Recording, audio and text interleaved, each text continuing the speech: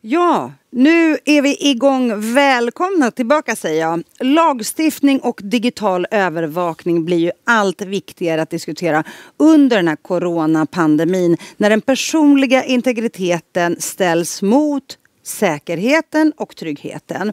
Det här seminariet arrangeras av eh, Internetstiftelsen och Utbildningsradion. Moderator för det här seminariet är Mette Hultgren som har arbetat som journalist i över 20 år. Bland annat som redaktör och tv-producent. Och sen tre år tillbaka är hon eh, strateg på Utbildningsradion. Hej Mette! Hej Alexandra! Hur står det till? Jo tack, det är bra. Vi laddar inför seminariet nu. Ja, det ska bli så himla spännande. Och jag tänker att ni är ju Mette det enda mediebolaget som är med i det här nätverket MIK Sverige. Eh, som ju arrangerar det här spåret som heter Medier, makt och farligt medborgarskap. Hur kommer det sig att ni är de enda som är med? Eller varför är det viktigt för er att vara med? Ja, men för oss, vi, vi har ju producerat program kring eh, det, ja, MIK, medie och informationskunnighet i 20 års tid kanske och det här är en av våra viktigaste frågor. Och I grunden är det ju här en, en eh, demokratisk fråga. Att informera sig till att, att människor har kunskap, både att menar, sådana enkla, basala digitala kunskaper som att veta hur ett mobilt bank-id funkar för att ta del av olika samhällstjänster men också eller naturligtvis att kunna kritiskt värdera, analysera information, veta hur man skiljer på sant, falskt och vad som kanske är mitt emellan. Så därför var det självklart för oss. Eh, tycker det här är viktigt. Mm. Och då eh, är, är, du eh, redo, antar jag, att ta över den här stafettpinnen och moderera samtalet som vi så ser fram emot, Mette. Tack så mycket, Alexandra. Tack. Då hälsar jag alla välkomna till det här seminariet, Lagstiftning och digital övervakning, som ju arrangeras av UR. Eh, digitaliseringen har vitaliserat demokratin i flera avseenden och det är idag enklare för människor att ta del av och sprida information, liksom att engagera varandra i olika frågor. Samtidigt kan den digitala tekniken användas för övervakning med mer eller mindre goda syften och redan idag samlar stater och regioner in stora mängder personlig data. Även kommersiella aktörer gör det för att förstå våra köpbeteenden. Å andra sidan så kan insamlingen av personlig data också användas för att underlätta vardagen för oss. I Estland, som vi kommer att höra talas om, eh, ibland kallat för världens mest digitaliserade land, finns det snart sagt snart ingenting som medborgarna inte kan göra digitalt. Och det estländska folket är så här långt positiva till den digitaliserade statsapparaten eftersom de upplever att den förenklar tillvaron. Nyckeln till tilliten stavas lagstiftning som ska ge medborgarna äganderätten till all sin data. Men frågan är om det är tillräckligt för att skydda dem och vad kan vi i Sverige dra för lärdomar eh, av Estlands väg? Och hur ska vi förhålla oss till en allt mer datadriven tillvaro? Det är vad detta panelsamtal i huvudsak kommer att kretsa kring. And now I'll switch language and introduce Mr. Ott Welsberg, Chief Data Officer for the Estonian government. Hello, Ott. Hi. You can turn. Hi, and very welcome to this seminar on legislation and, and digital surveillance.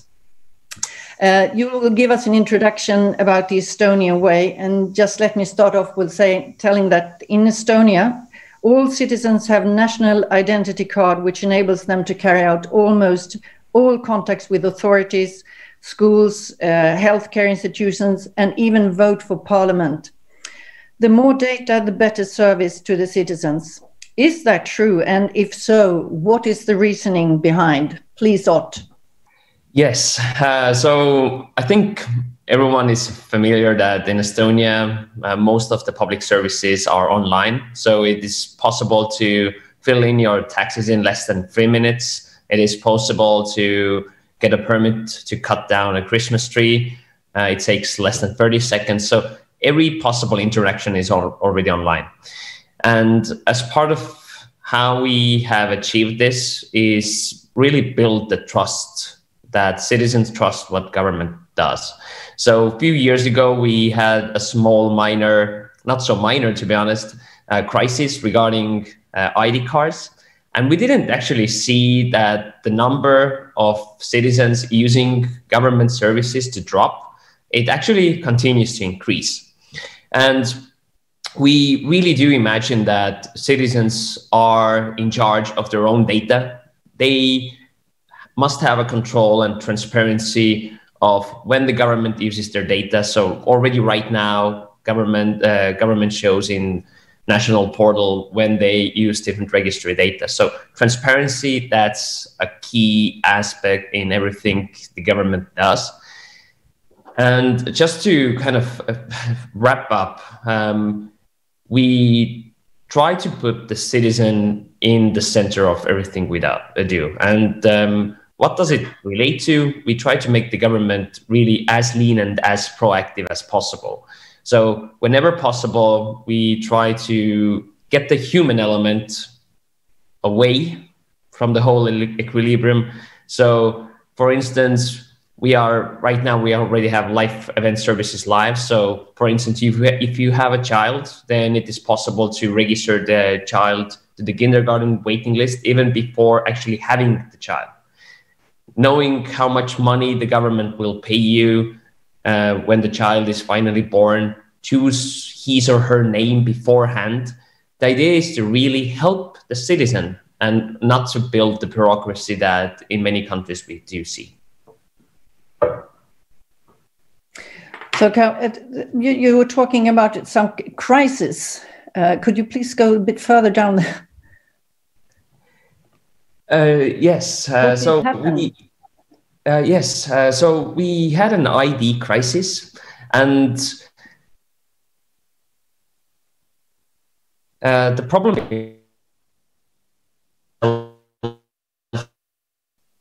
with the ID card, their digital signature can be uh, to some degree um, hacked. Can you still hear me? Yeah, it was a bit a bit hard in the beginning. So you, you could maybe you could say it once again. Okay, so uh, I saw something as well. Um, so the problem was uh, that the ID card um, or some of the ID cards, there was a slight possibility that their digital signatures can be hacked. So people can open up digital containers uh, which have information containing uh, to the citizen, or they can uh, kind of, uh, let's say, great digital signatures so they can uh, do things that the citizen can do with their digital signature itself. Um, it was not an issue created by the government, but by the digital card service provider uh, situated in uh, France. And it was actually found out by researchers from Austria um, however, the government was quite open about it uh, from the first moment it happened, saying that this is the risk. Mm. This many ID cards are affected. So far, we found find that no one has had their ID stolen, but we are working on it. Mm. So it took us um, a few heavy months of working. And when previously people would have thought that um, being transparent about the risks and so forward actually reduces uh, citizens' trust, it actually increases.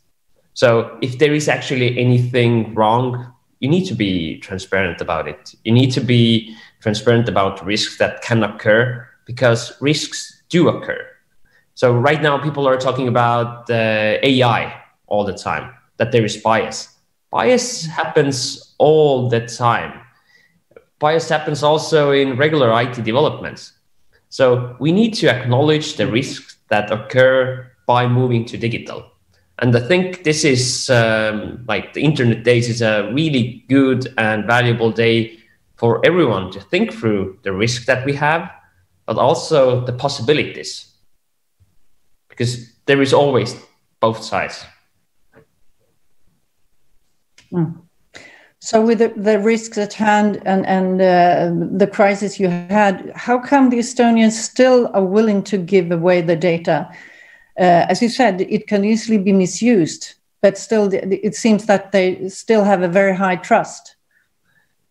Yeah. Uh, so when it comes to personal data, um, the government itself doesn't own data. It, we just are basically we are hel- uh, holding citizen data, so citizens are in charge. Um, what it means is that we are right now working on a consent management platform to give citizens a possibility to um, give access to their government held data to private sector, uh, to third parties, so forward. So government health data can be used uh, to build new services. For instance, um, we have over 200,000 Estonians who have donated their uh, DNA or genome data to the government biobank. So, if um, the listeners are un- uh, unfamiliar, in Estonia we have 1.3 million people. So, it's a quite huge number of uh, citizens that have already agreed to donate their gene data to the government. And now we are giving a possibility for them to share that data to private sector organizations or non governmental organizations so they can build new services on top of the data the government right now holds. So we are already working with uh, multiple, uh, multiple um, companies in healthcare sector, but also in transportation sector. So um, giving a possibility to share and use data and transparency, as I mentioned before. If you go to the government portal, you can see when government organizations have used your data and the reason for that. So, of course, we are still kind of, uh, in, in my own mind, in the middle. So, there is uh, still some registers, information systems that need to have a data tracker integrated.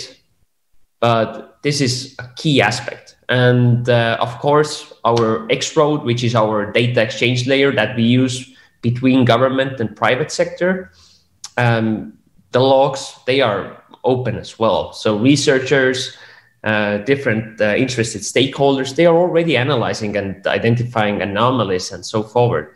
So being transparent, building the trust.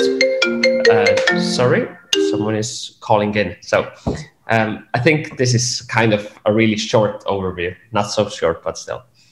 Hmm. That's interesting. I'm thinking of, with your history of being forced into to be the part of the Soviet Union, wouldn't you expect a greater skepticism from the citizens? So I think people would actually expect, and this is uh, kind of uh, the typical standpoint that in many other um, previous Soviet Union countries, we do see that there is mistrust towards mm-hmm. uh, the government. Um, but I think our journey from the day one kind of led us to another situation we are today. So we started to collaborate with private sector. Um, there was also a huge interest towards making the government really kind of zero bureaucracy. People saw what happens when the government is in charge of everything. At the same time, um, the transparency aspect. This this is carried out from from the time I was actually not even born. So from the day one, people wanted uh, to have as liberal a country as possible, mm-hmm. that every citizen has their own choice. And we have tried to take this kind of uh, um, innovative mind to the government as well. So, trying to make it as efficient as possible, trying to stand out. And in the end, through this, um, I think we have found kind of our IT tiger, uh, if we can say so. And uh, today, citizens are actively, this has carried out to private sector as well. Um, last week, we got our uh, fourth unicorn. So by those numbers, Estonia is extremely small country, but still we see that IT sector as a whole, it's huge and it continues to drive. So I think the overall, um, with the generation, the mindset has now completely changed. Okay, very interesting. Thank you very much, for this introduction. And you'll stay with us and yes. join the discussion. Uh, and I would like to introduce the other panelists here in Sweden, and uh, I'll start off with Marcin de Kaminski, uh, Director of the Global Department for Human Rights Defenders at Risk at the Swedish Human Rights Organization civil rights defenders, and with a long experience of exploring how technology and societal change could be further connected. And we have Ann-Marie Eklund Lövinder, uh, Chief Information Security Officer at the Swedish Internet Foundation, and one of seven trusted community representative and crypto officers, which means you have one of the keys uh, of Internet. And also, I have to mention, you are the first Swede to be elected into the Internet Hall of Fame. Welcome. And Matthias Beijmo, author, strategist, and lecturer with a long experience in digital transformation uh, among companies as well as public authorities. And uh, with a great expertise on different aspects and consequences of digital surveillance. Welcome all. Uh, I, first of all, I wonder how close to the Estonian digitalized states have we come here in Sweden? Matthias, would you start? Yes, thank you. And thank you all for, for a great overview over the uh, Estonian thoughts and plans and uh, track record. Um, technology, as you can see in the Estonian example, has long been a great tool for democracy, but it kind of seems now that democracy is starting to become a tool for technology. Um, and in Sweden, we can see um, the pandemic, the ongoing COVID 19 pandemic, is, is becoming a driver for also our state to, to um, think of and try to find ways of tracking, using data to track the spread of the pandemic. Not so long ago, there was a government sponsored competition here in Sweden where a private company um, won that competition. Uh, the government deemed them as the winner. And uh, their uh, basic idea was that people go and get tested for COVID 19. Uh, they pay like 300 euros for that. And then when they have a clean sheet, they get a little, little sign in an app in their smartphone saying that they're clean from COVID 19. They belong to the, so to speak, clean group of citizens. And this is exactly what countries like China, but also other democracies uh, have used, choose using QR codes like system to uh, make them show at checkpoints and going into stores and railway stations that they're free from COVID-19. And it and it seems like it's totally possible that this will occur here too. But imagine the social implications when you when you have a sign in your smartphone saying that you belong to the group of people, in this case, free from COVID 19, and maybe in another case, genetically belonging to a group if you connect if you collect the genetical data like you, you do in Estonia and you, you need to show this in different applications with a with a with a very nice and, and liberal government that might be okay but then the government changes and then maybe um, you have a political turmoil situation like you've had in Estonia, well, then it's not so fun anymore. So, I mean, this uh, development that we can see here where data is given uh, the driver's seat instead of governance, um, we've seen that before. We've seen signs on other parts uh, of the human uh, society, not in smartphones, but on their clothes before. And that was not a very good way to walk. And that's disturbing to see uh, that we also in Sweden are actually going down that route currently. Anne Marie, what do you say? Would it be possible to Sweden to follow the Estonian way? Well, of course, partly, but still, we have to remember that Estonia is a young country uh, with a small population. Uh, everybody more or less knows each other more than we do in Sweden. I visited actually uh, a year ago or one and a half year ago, together with the Swedish uh, contingencies agency, uh, to, to actually take more uh, part of or learning more about what Estonian have done.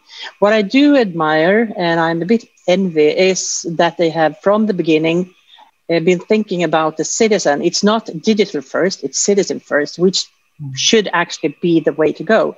And another thing is that they have um, this ownership uh, because you have the once only principle. You leave your data once and you leave it to some of the agencies, and they can um, decide whether they will share it with other agencies. But then again, you as a citizen will get the information about when it happens and why it happens, and you can object to it if you like. So, but as Orton mentioned, it hasn't been a flawless road to, to the digitalization they had. I mean, that was a huge incident with the with the digital cards, uh, the identity cards. But then again, they are very very pragmatic, and I admire them for that. Mm. Marcin, from a citizen point of view, uh, it seems that the Estonian way has much improved and simplified everyday life. So why hesitate? You see any dangers? Yeah, I, I, have also been to Estonia. And I'm impressed by by the innovations and and the scale of of the, the digital inclusiveness of the country. Uh, I think that we in, in Sweden we're uh, we have a good starting point when it comes to becoming more digital. Even though I'm I'm I'm also um, aligned with uh, both Anne-Marie and Matthias when it comes to commenting. But I think that the two biggest challenges that we see from a civil society perspective is partially the uh, the recent or the, the cases over the last couple of years, uh, where we have seen um, big data collections uh, being uh, targeted by hackers or being disclosed because of uh, low and digital competency in, in the firms that have been responsible for those data collections. And that is social data that may, may or may not be sensitive, but that really decreases the trust in the digital infrastructure that is uh, that we need to trust in order to become more digitalized. Uh, the other part that, that, we are worried about is uh, is what we have seen in as an increase of requests specifically from law enforcement to collect additional data uh, concerning citizens uh, and for in those arguments the, the kind of the, the argument for collecting that data has been efficiency when it comes to law enforcement but from our perspective, we see that as a crucial risk if we have a government collecting data that may be sensitive and uh, without the proper oversight. So that's uh, two, two kind of comments on, on that introductory remark. Mm-hmm. And it seems also transparency in legislation uh, is, is good for protecting, but still there's a great possibility that it, data can be misused. Uh, Ott, how, how have you the system could be uh, misused. So, so how do you uh, how do you have you acted in order to ensure approval from the citizens, and as well as and, and asking them to act when when they find that the, maybe the data will be used by someone they didn't want to. Yeah.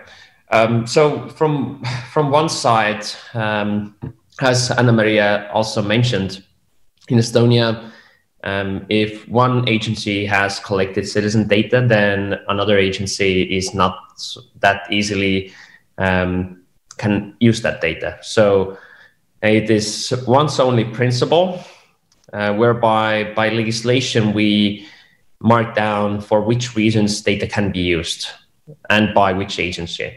So from that side, we kind of avoid situations where whereby someone would just like to um, use data to find some um, whatever uh, make predictions and so forward but at the same time it also affects how the government functions sometimes so we are not that flexible or agile in carrying out different uh, projects which can actually deliver huge benefits for the citizens and uh, for the government as well so I'm just going to bring in an example.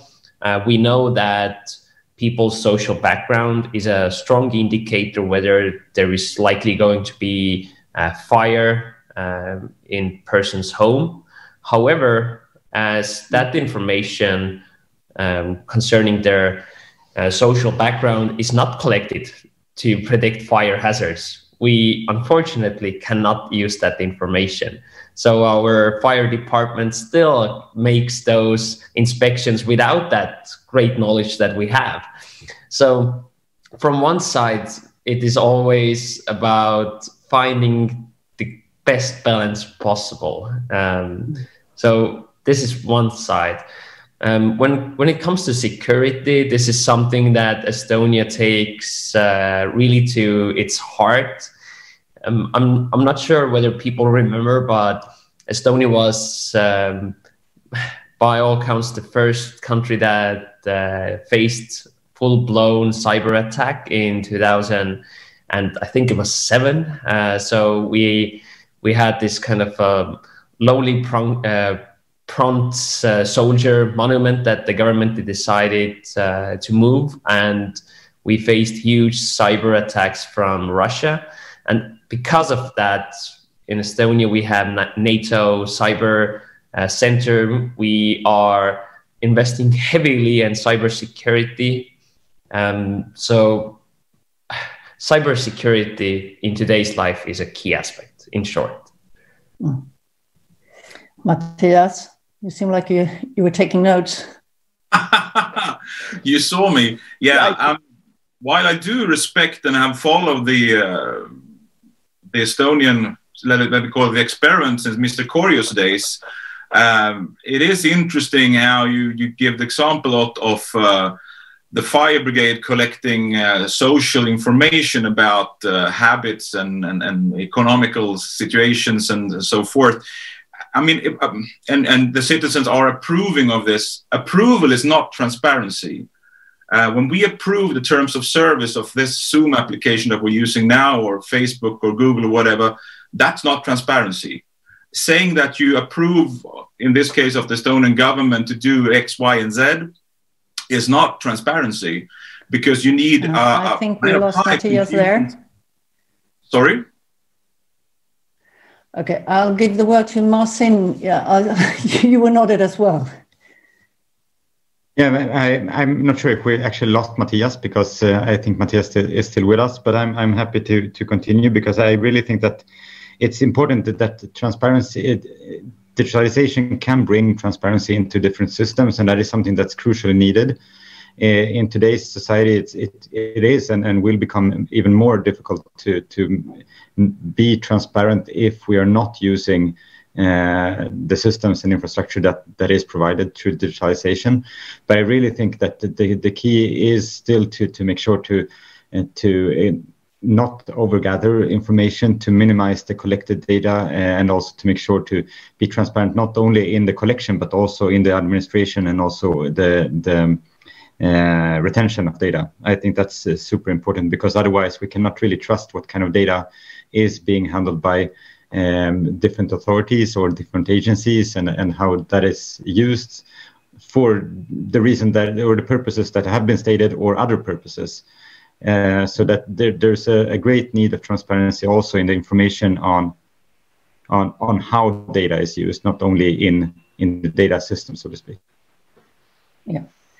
Thank you. Uh, Matthias, welcome back. We lost you for a couple of minutes. I'm not sure you lost me, but maybe you did. Um, no, I was saying that approval is not uh, is not transparency. And when you make a little X in a box on Facebook or in, on the Zoom app, then you you you're not you need a, a degree in computer sciences to understand what you're actually saying yes to. You cannot expect from citizens in a democracy, in a liberal democracy, to have that level and depth of understanding and then uh, think that they will be uh, knowledgeable in how their data is used and how their rights is taken care of. That's not even possible, uh, and it's it's a very hard hard road to follow if you want to live liberal democracy for real. Okay, Anne Marie, you raise your hand. Yes, yeah, I want to actually underline that it's a very, very fine balance between need to have and nice to have when it comes to information. And I think that approach, the approach that Ott uh, mentioned or presents here is, uh, is a very good one. Uh, and also but about transparency, I think that is nothing, it's not one or zero. It's like, yeah, you can have transparency and it's an ongoing dialogue between people and among people. We have to keep continue the debate. It started with, uh, with uh, the retention law uh, in Sweden we had a number of years ago. I think we actually achieved something there. We did get a supervisory agency that are in control, are uh, responsible to make sure that uh, information is not abused even by the government uh, or, or, the criminal, uh, the police force, and, and things like that. But still, it's nothing you solve once and for all. You have to debate it every single day and make sure that the transparency is withheld to a certain level. It's not guarantee that you have it or not have it. Interesting. Thank you. Uh, I wonder what, what, what kind of discussion or, or the um, complaints have you got from the citizens concerning that how how transparent the government are without with how the data is used? Has there been a discussion in, in, Estonia?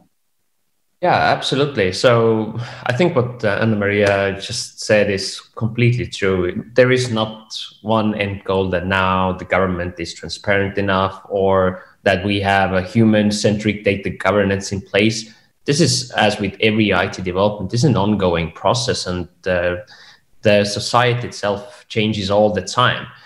So when it comes to problems, of course, there are. Uh, so when we take, for instance, our data tracker, people still don't understand why the government sometimes accesses their data. The reasoning is too broad. So they, they are they, for them, it is just strange. For instance, uh, a typical use case is that someone is abroad and um, for instance, Tallinn, whereby you have free transportation, they are checking your uh, registration. So where are you registered to live? But they are doing that while you are away. But it is actually automated. Mm-hmm. Uh, so for a person, it seems like I'm not uh, driving the bus right now. So that's strange.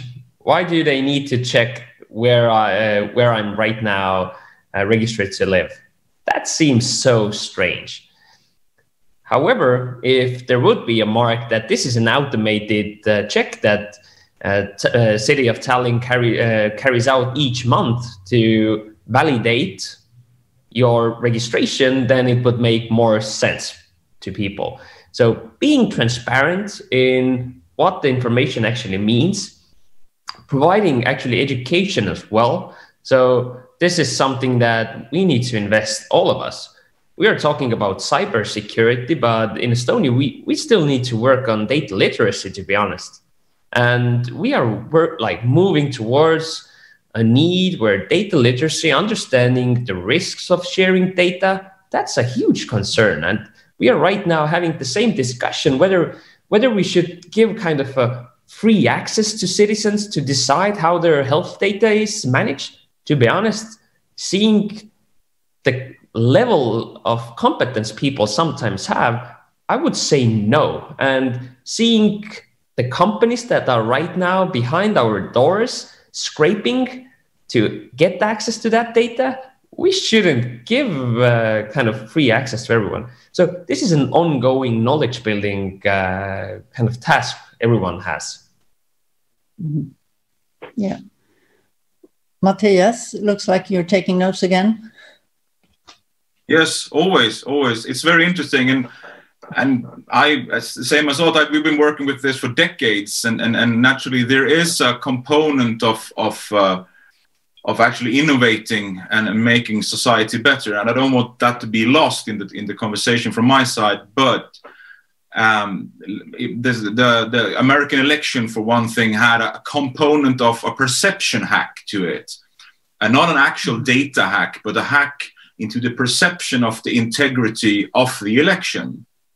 The, the, now, what Donald Trump is doing is that, that he's driving the thesis that the election was rigged and is, is flawed in some ways.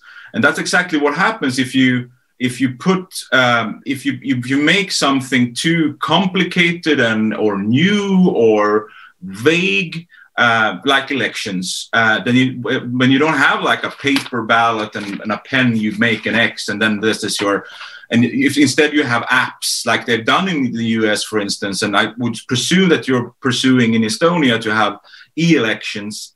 Um, when you do that, the system can be totally integral. The, the system can be great, the actual technical system, but the reliance on this, the system, the democratic system, is is is has a, a, a, flaw to it because people don't understand the techn- technology underlying it.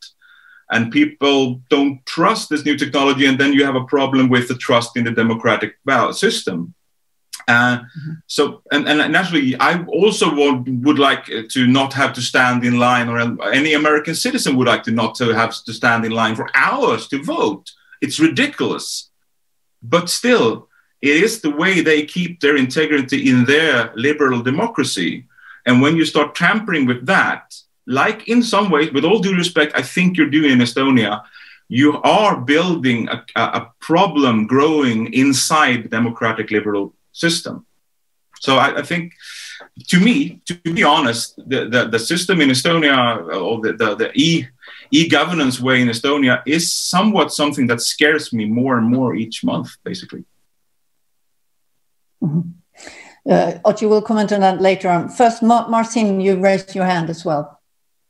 I just wanted to add as well that uh, I think, from my perspective, what's what is interesting with uh, the increased digitalization of different societal functions, such as we have seen in Estonia, is that you actually can bring inclusiveness and make sure that everyone can interact with governmental institutions and systems uh, on somewhat similar terms. And I think that we have good examples from that in Sweden as well, when I think that most of the population is actually interacting with our tax agency or the social security uh, service that we have uh, through digital tools that have been produced, I assume, and uh, partially because of transparency or inclusiveness reasons, uh, but may, maybe also partially to lower overhead costs of the agencies, for instance. And that combination is, is good. Uh, and uh, really fruitful, I think. But if that is not also combined with uh, including the aspect of have increasing the dig digital trust of the backend systems of of the of the agencies, for instance, that may also uh, mean that the only gateway to the systems will be through uh, digital interaction.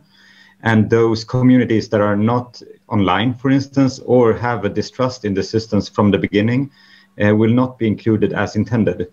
Uh, so I think that it, that also needs to be taken into consideration, not over digitalize uh, institutions, uh, but do it responsibly and also including the the layer of trust, which I think is is increasingly important. Mm-hmm. Anne-Marie, you wanted to comment as well. Yes, getting back to, to the first question, can we compare? Well, well, I don't think that we can compare Sweden with Estonia because Estonia, they, they didn't need to take care of a legacy that we have.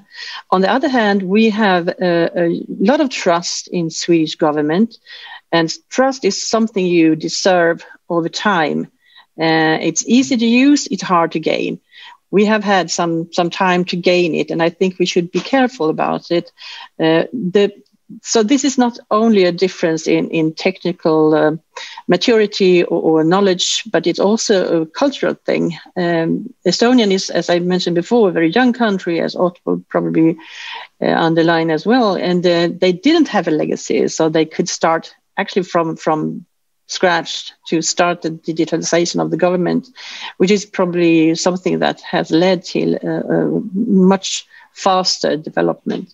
But I have to, to agree with Matthias and, and Martin as well. So you just be careful now when you take your steps to don't jump into a rat hole because uh, then it might be that you lose the, the, confidence and the trust that people have in you already. Um, so that's my advice. Ott, what do you say? Your comments on, on your advice, on the advice to you. Yeah, so uh, the advice itself, um, it, it, was actually a little bit unclear to me. Um, however, I can um, just say that we already have legacy as well. So we started 30 years ago. We had legacy back then. And if we consider how small Estonia is, then it is actually from one side it is always a great thing we can uh, bring the same parallel that finland is not uh, that huge um, we have denmark or we have even iceland iceland is even smaller than estonia so all of those countries they are not huge and there are many others as well so if um, the population is an indicator then everyone should be at the same point. Similarly, you have legacy if it's 30 years of building e-government. We have so much legacy that it hurts us. But at the same time, um, we see that it's really about the mindset question. And we uh, have today talked quite a few time about the kind of the trust and understanding how the technology uh, works. People don't need to know every detail of everything. Like they don't need to know programming, but they need to know how the system overall works and understands kind of how the government functions as well. They don't need to go in deep into the code and see everything how it works. However, at the same time, we are trying to push actually open source uh, code as well. So everything the government does, we try to make open source whenever there are no risks associated. And uh, when it comes to i-voting, so internet voting, not electronic voting, then this is definitely something that we see that the citizens are continuing to uh, trust, they are continuing to use. During the last election, um, I think it was close to 44 or 46% of all Estonians voted using internet voting. Um, we have the transparency there. Similarly, we have found no risks associated. So this is just one way, and uh, at the same time, there are already always risks, but technology here helps as well, whether it's mm-hmm. misinformation or something else. Yeah. Okay. Do we have a? We we're almost out of time. Do we have a short comment from anyone, Martin? Um, just a short comment. I, I, think that we it's important with this, these discussions because we we have countries that have come different far, and we have things to learn, and we learn best as as peers, and those conversations are important to to keep on having together. Yes. So, and by that, our time is uh, over and I will thank all of you for uh, participating in this seminar. And uh, now I leave the word over to Alexandra. Thank you very much. Thank you, uh, Mette Hultgren, and to all the other panelists. It was such an inspiring and interesting debate, I have to say. Så eh, nu är det snart dags för lunch och det kommer att ske aktiviteter i, våra digitala, i vår digitala utställningsyta i Expon.